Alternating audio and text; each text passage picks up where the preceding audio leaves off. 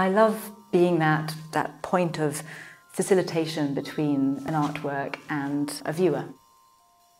I'm Karly Allen. I'm a lecturer in art history and I also teach courses in close looking. Close looking can encourage us to, to slow down, to trust what our senses are telling us. We can so often be inhibited by what we think we ought to see.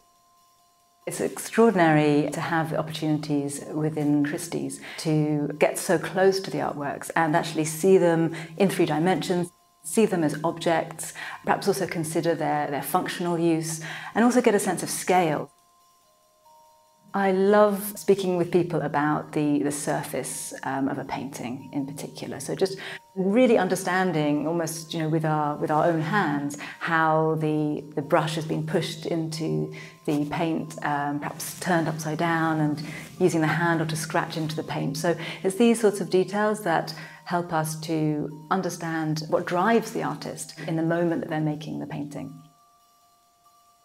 I think my all-time favourite artist uh, might be Velázquez, the 17th century Spanish painter, for his intellectual as well as sensual approach to painting.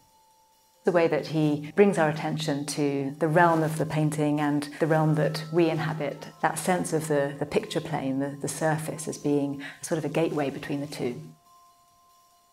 I love opening up a conversation and um, making these, these points of contact across time. It's really about the discussions that come out of looking at art and, and the connections that we can make with places and times.